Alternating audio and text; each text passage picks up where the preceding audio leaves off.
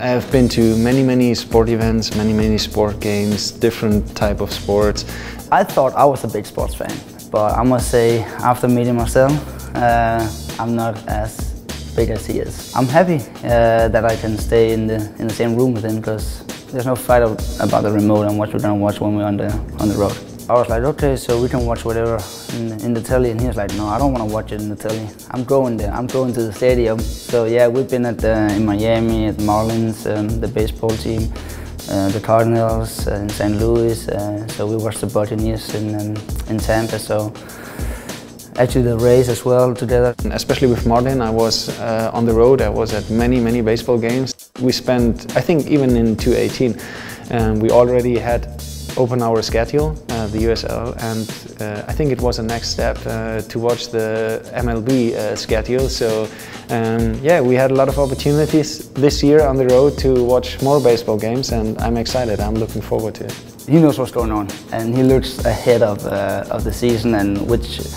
Uh, opportunities there is when we're on the road to, to watch a certain kind of game. So yeah, so he, he told me um, so this is a good opportunity, this is a good opportunity, and we're gonna do this and we're gonna do this. I'm like, yeah, okay, like, of course I'm gonna join you. I'm a big, big New York Giants fan. I watched, even in, in my time in Germany, I watched as many games as possible.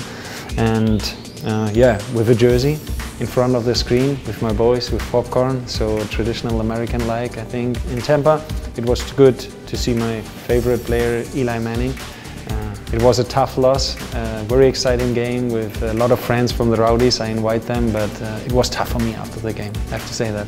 My absolutely highlight, maybe in my in my life, in my sport life as a fan, uh, is a college football final in, in Atlanta.